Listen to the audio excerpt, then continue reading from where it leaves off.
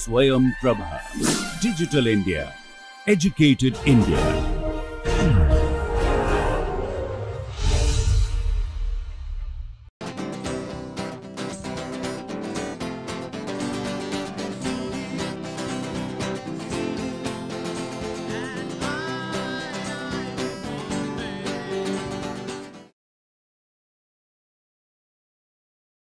I once again welcome you to MSP lecture series on main group chemistry. Uh, in my last lecture, uh, I was discussing about uh, the writing MO diagram for heterodiatomic molecules. So, let me continue from where I had stopped. So, let me write MO diagram for CO2 molecules. You do not often come across the MO diagrams in uh, standard textbooks for molecules such as CO2, BH3, H2O and all those things. At most you may see MO diagrams for NO, CO and not beyond that one. So, that is the reason I am giving you some triatomic or polyatomic molecules and explaining their bonding and analyzing from both valence bond point of view, VSEPR theory point of view as well as molecular diagram and this can clearly give the idea about which one is more refined, which one will be which one is more informative. Of course, there is no doubt that molecular orbital theory gives the complete picture of a molecule including its reactivity everything. So, let me continue with writing a MO diagram for CO2.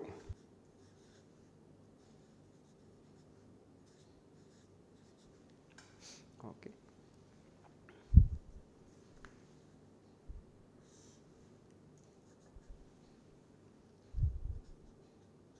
Okay. So, now let me consider here 2px and 2py.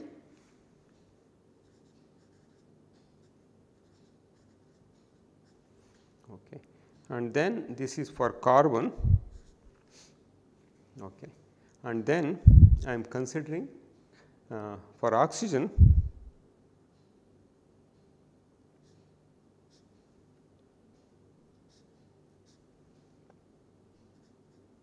by G by U, you may be wondering what is this one. So, it is essentially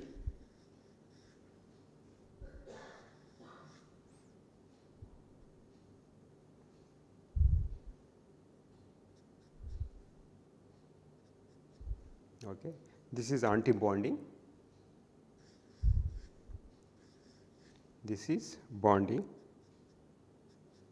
So, bonding is ungerade whereas anti-bonding is symmetric. So, gerade that is the reason this uh, subscript is coming here and this is the combination of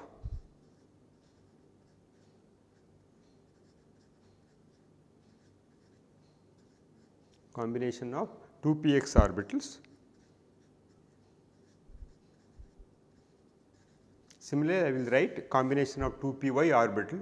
I have omitted pz because pz is involved in making sigma bond. So, I am just omitting that part that is very that is similar to most of the molecules we come across.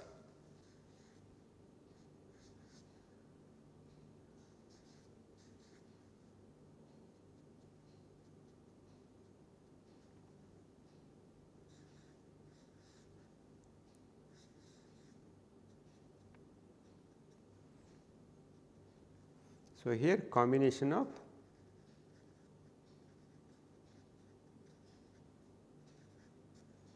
two p y orbital. Okay, so, both represent O here okay. and now this is for CO2 let me write here MO the first one will be here this is pi u two of them and then we have here almost non bonding because pi this is both are pi u. So, that this remains as non bonding and now let me write here pi u to connect them.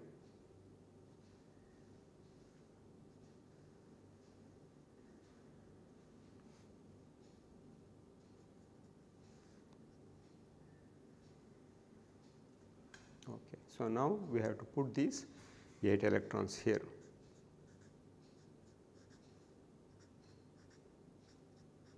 Okay. So, this is the MO diagram for CO2 here, this is for oxygen, this is for CO2. Okay. So, one should be able to write a simplified MO diagram for CO2 in this fashion. So, now let me write MO diagram for another interesting molecule BF3 okay. and, and uh, BF3 is a Lewis acid very strong Lewis acid of course, uh, it is not stronger compared to BCl3. So, those things also we can analyze uh, after writing the MO diagram and while writing MO diagram I mentioned that to minimize complications all ligand orbits are put together and considered as ligand group orbitals. So, now we have to consider B boron atom combining with 3 fluorine atoms and each fluorine is coming with 2s and 2p 4 orbitals. So, total of 12 orbitals are coming from fluorine and 4 orbitals are coming from boron and now uh, these 12 fluorine orbitals are together called ligand group orbitals.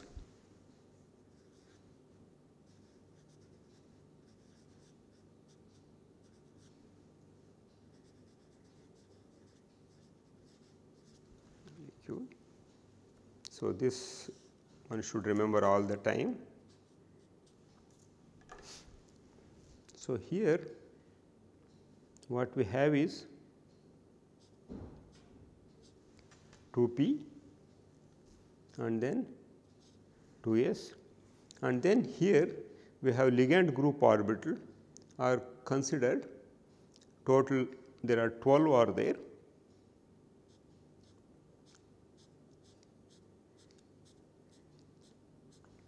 Okay. So, these are all called ligand group orbitals. I had already mentioned how we are taking 12 here.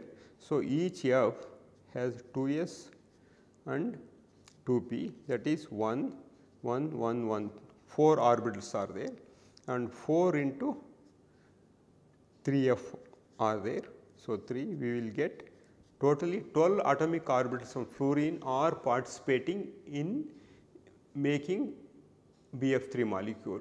Okay. So, while writing MO diagram we are considering 12 uh, fluorine atomic orbitals and 4 boron atomic orbitals a total of 16 atomic orbitals are involved in writing MO diagram for BF3. Out of this one let us start writing and I would tell you about those. The first one is here so, this is boron atomic orbital 2p and 2s and here F3 fragment.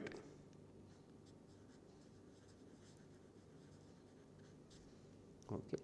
So, here the first one and then we have 2 and then we have 1 here and then here we have 8 1 2 3 4, 5, 6, 7, 8. They are essentially coming from here and they are essentially 8 and then we have 1 here and 2 here and 1 here. Okay. So, this is A 1 prime and this is E prime and this is A2 double prime and this is non bonding and then A2 A2 double prime star and similarly E prime star and then A1 star.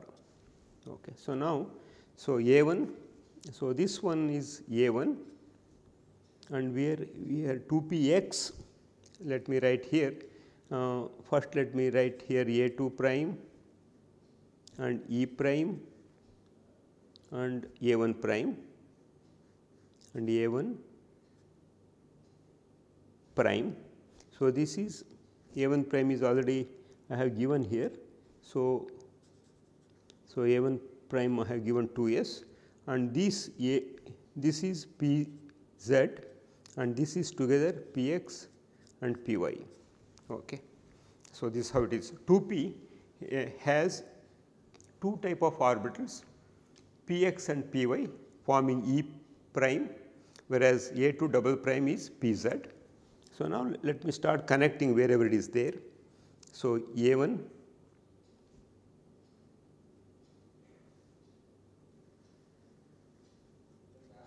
okay, and then A1 here and of course, all of them should be connected here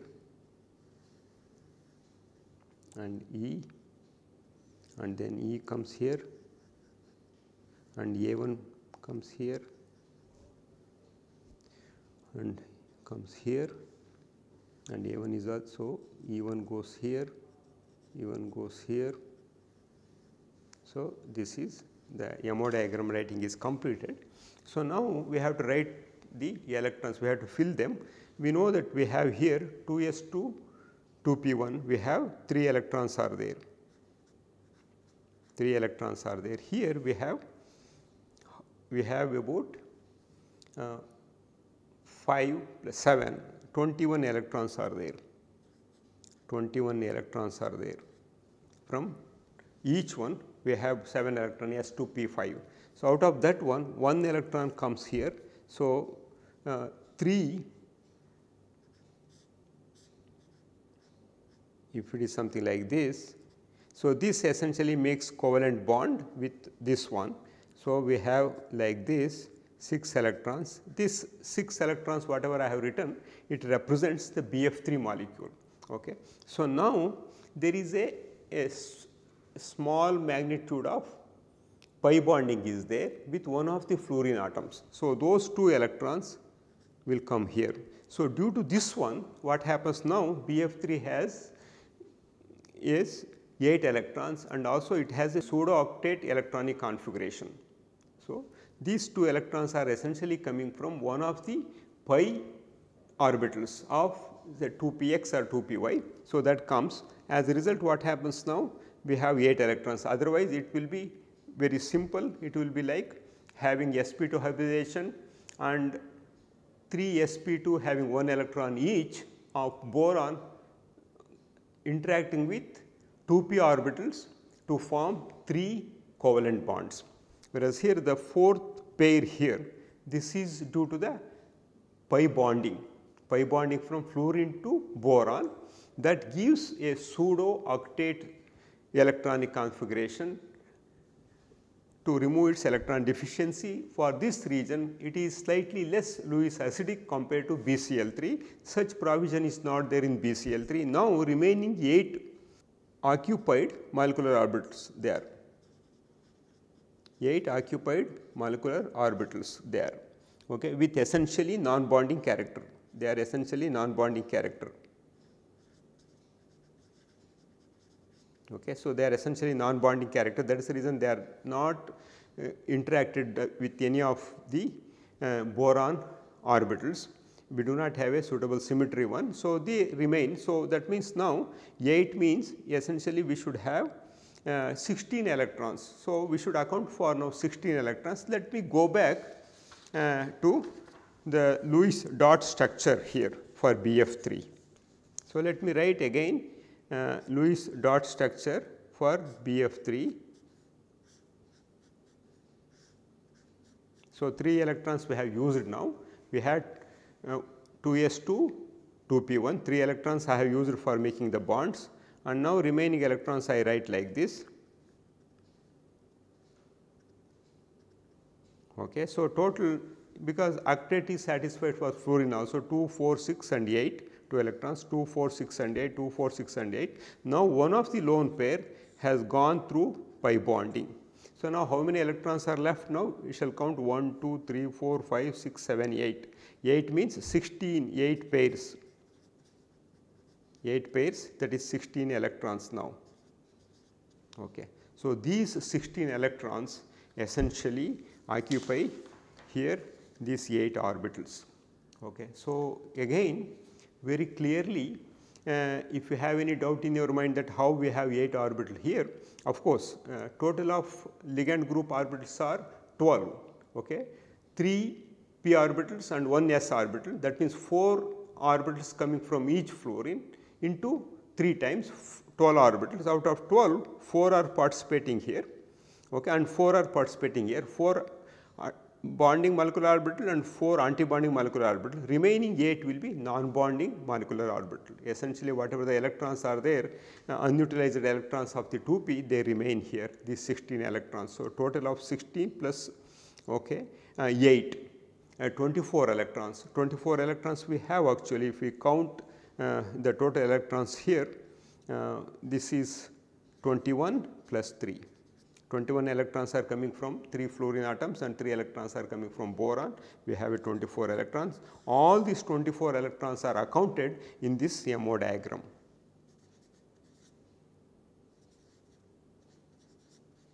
Okay. Although it appears like complicated, once you understand how to write, you should be able to write and also you can account for all the electrons present in the entire molecule and also you can correlate with this one with other bonding models we have used in the past. So, let me write uh, one more uh, important molecule MO diagram for that is SF6.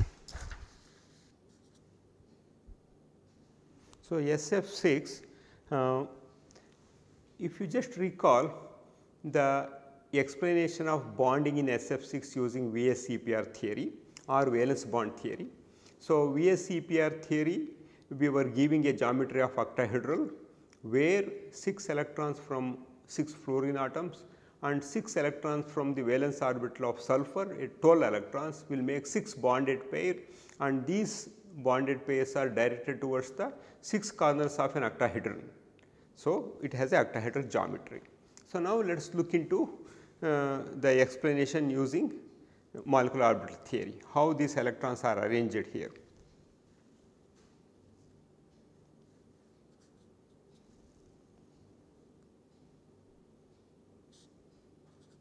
Three S,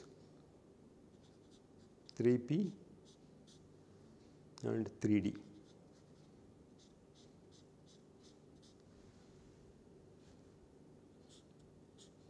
Okay, 5. 5. So, of course, they have T2G and EG symmetry and they have T1U symmetry and this one is A1G, A1G symmetry. Okay. So, that is not important here and now we are using again 6 uh, fluorine orbitals we are considering. So, now I am not considering all again very similar to what I did in case of BF3 just for the explanation I am considering only 6 orbital that are participating in bonding. So, remaining will remain as non-bonding.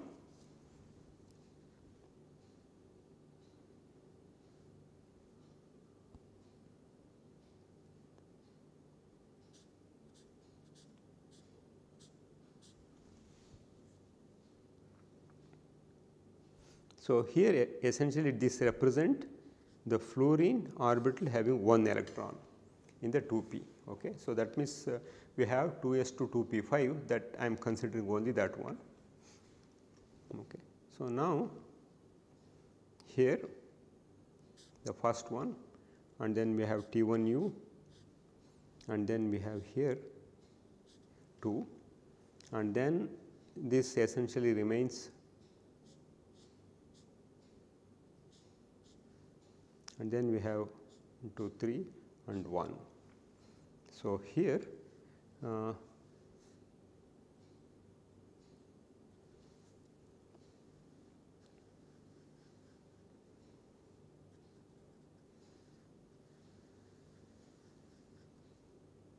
okay and then 3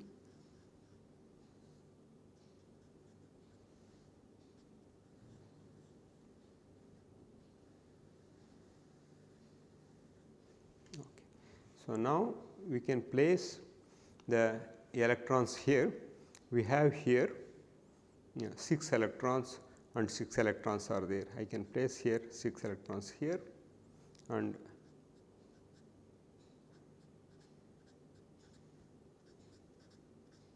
So, total of 12 electrons are placed here. So, that means here uh, if you just look into atomic orbitals of S, atomic orbitals of F and this is molecular orbitals of SF6.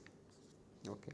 So, if you just see here the energy of 3D orbitals are too high to interact with uh, F orbitals.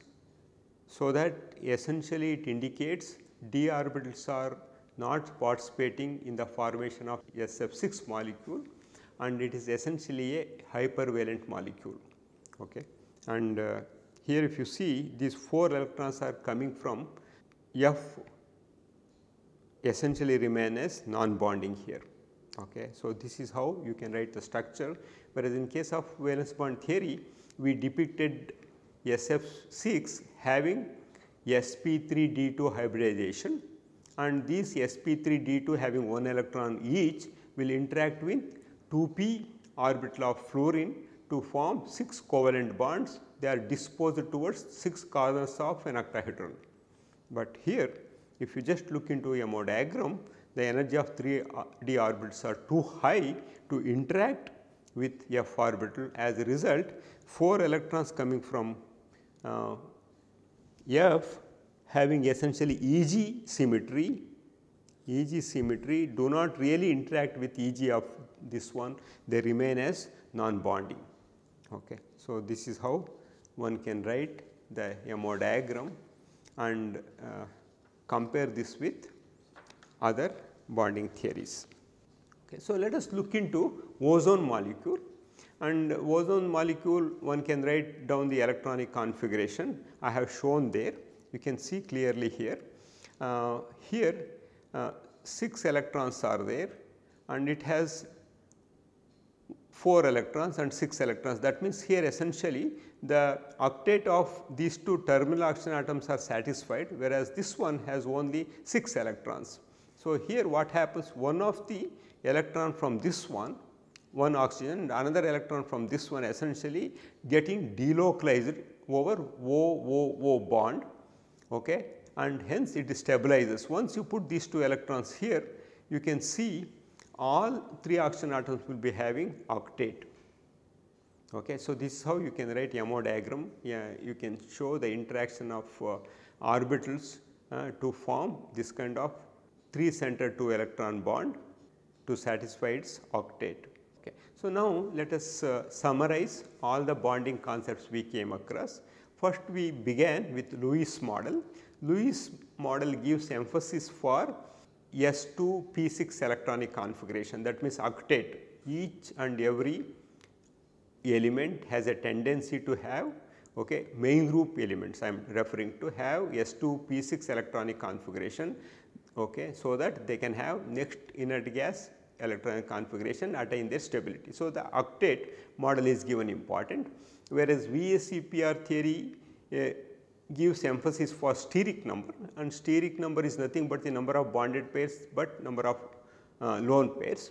And how we essentially we can dispose these steric numbers uh, from the central atom away from each other to minimize interaction that results in a particular standard geometry. And when we do not consider lone pairs we get the shape of the molecule. And then valence bond theory talks about hybridization concept. It is fantastic. It can explain everything about a molecule especially when it comes from the main group elements. Only the problem is with the coordination compounds where it cannot explain spectral properties, color, magnetic properties and other things relative strength of the ligands. And molecular, molecular orbital theory essentially gives all aspects related to a molecule. That means bond distances you can talk about bond distances okay? You can correlate the bond distances and bond strengths and reactivity magnetic properties without any problem without any flaw. So molecular theory is more refined and it is more informative compared to any of the bonding theories we come across. And conceptual steps one can use in bonding can begin from the molecular formula. One should write first molecular formula and then write Lewis structure and then try to use VSEPR model to predict geometry and shape, then go for valence bond theory using hybridization concept and then eventually proceed to molecular orbital theory to know more about these molecules. Okay. For example, now if I ask a question why atoms combine, you can say simply to form molecules and then if I ask again why molecules are formed because atoms are combined. That means essentially why atoms combine to form molecules. The reason is very simple. Some atoms have a tendency to lose electrons from their valence shell and some elements have a tendency to gain electrons into their valence shell. That means, when they have tendency to lose electrons, they become positively charged, they are called cations when they have a tendency to gain an electron essentially they will be having one extra electron they are called anions or they form anions usually non-metals and once when they have ability to share their valence electrons they form a covalent bond. So, ions formed by main group elements are usually isoelectronic with one of the nearest noble gases. Okay. So, now I have given uh, some bond energy for uh, all kind of bonds here. We have ionic bonds, covalent bonds again covalent bonds we have single bond, double bond, triple bond like we come across in methane, ethylene or alkyne and again we have hydrogen bond and phosphate bonds in ATP and also there is some value is also given for human chemical bond. You can see ionic bonds are much more stronger the energy is anywhere between 700 to 4000 kilojoules per mole or you can convert that into kilocalories per mole essentially 1 kilocalories per mole is equal to 4.1840 kilojoules per mole. I repeat again 1 kilocalorie per mole is equal to 4.1840 kilojoules per mole. So, you can always use that one for conversion and single bonds will be having energy anywhere between 200 to 500 kilojoules per mole whereas double bonds will have anywhere between 500 to 700 and triple bonds have energy between 800 to 1000 kilojoules per mole. And when we look into individual hydrogen bond anywhere they have energy between uh, bond energy 10 to 40 kilojoules per mole and phosphate bonds have anywhere between 25 to 60 and human chemical bond also they have given a value it stays around 7 to 6 kilojoules per mole. Okay. So, now covalent bonds I have shown two atoms each contribute one electron. Both of them share these two electrons. For example, you can see covalent molecules such as F2 and again when we make covalent bond we have polar covalent bond as well as non-polar covalent bond.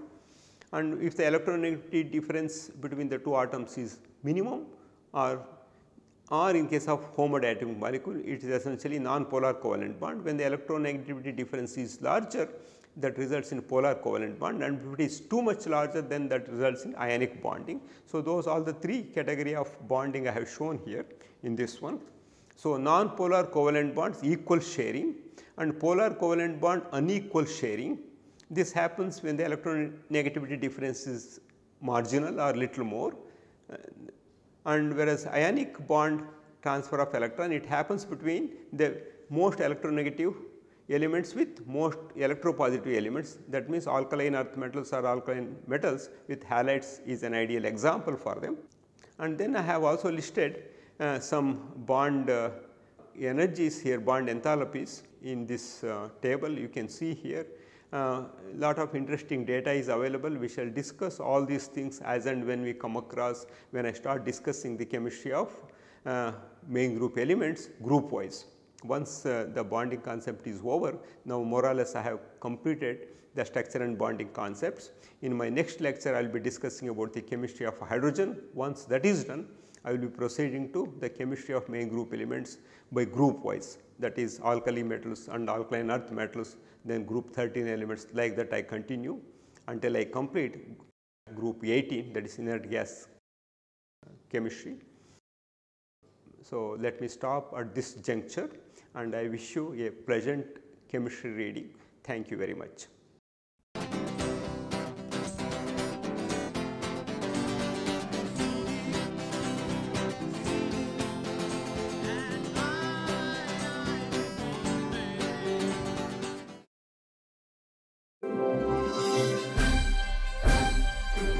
Swayam Prabha.